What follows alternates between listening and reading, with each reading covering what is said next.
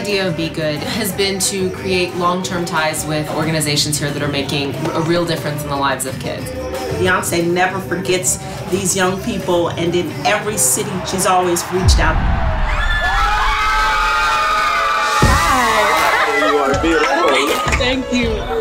I just encourage you ladies to find your passion and to stay focused and positive. Yeah. want to pray for you. Bless her family. Bless her child. Amen. Amen. Thank you guys. You made me cry. You're looking at a poor kid from South Central LA. But if you believe in yourself, you will get it. No matter what you're told, you can follow your dreams and do whatever you want. Everything that you go through in life, use it when you perform. Know that you're worth it, and that's going to be the driving force to be whatever it is you want to be. They got to take over and be super confident. Be good. That's what I got. Be good. Thank you guys for coming. I'm so proud of you.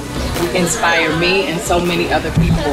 And hopefully people will see that you work so hard and are so positive and will want to do the same thing. Say Koopa. Koopa. See you later. It means hope.